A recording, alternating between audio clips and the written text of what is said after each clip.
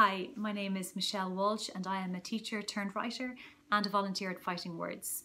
And I'd just like to take a couple of minutes to share with you my top writing tips that I've learned over the past couple of years since I started writing and in the hope that they can help you if you're trying to write during this uh, difficult time.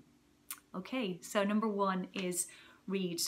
Read all around you, anything you can get your hands on, all different types of authors, different types of genres, because really reading is the best teacher for writing.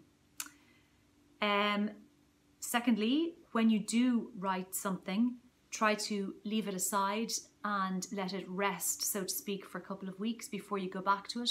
This gives you a bit of distance and perspective and will help you to edit um, with fresh eyes.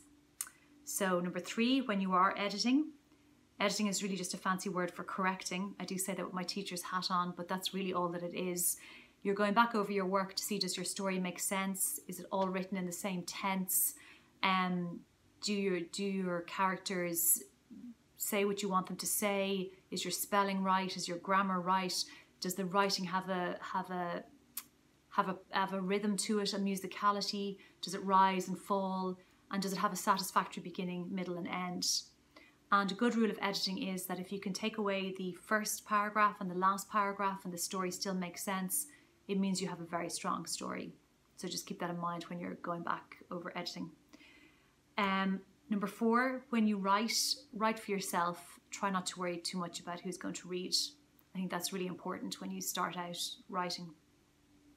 And fifth, but uh, last but not least, is show, don't tell. This is the secret of all um, creative writing is that um, you're trying to paint a picture for your reader to transport them to another place. So if I give you an example and I say Katie was tired, this is a tell sentence. It doesn't require the reader to do anything.